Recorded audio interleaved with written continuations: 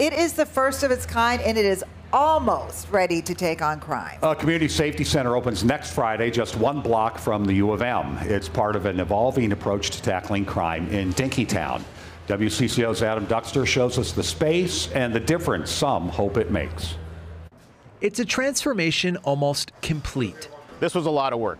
They have done a tremendous amount of work in this space for us. Dinkytown's former Kitty Cat Klub just days away from opening as a community safety center for Nick Juarez of the U's Department of Public Safety. It, it closer than it looks. It can't come soon enough. So this will reduce the opportunity for some of the crimes that we've seen to happen, uh, but it also will give us uh, a foothold in Dinkytown to start building stronger partnerships that we already have partnerships with community organizations who've signed on to use the space.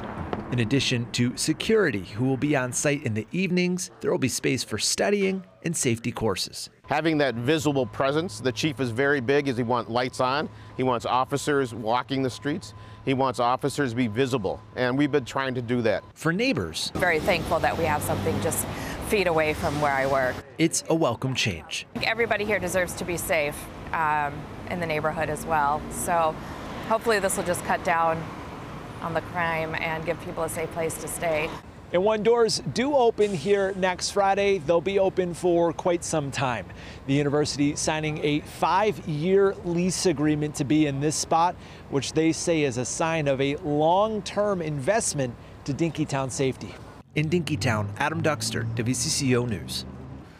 Juarez says the space will also help grow the partnership between the university and the Minneapolis Police Departments. Campus police have been responding to Dinkytown 911 calls since March.